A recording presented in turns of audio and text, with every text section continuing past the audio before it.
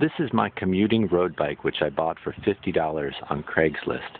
And the top light is a Planet Bike Superflash Turbo.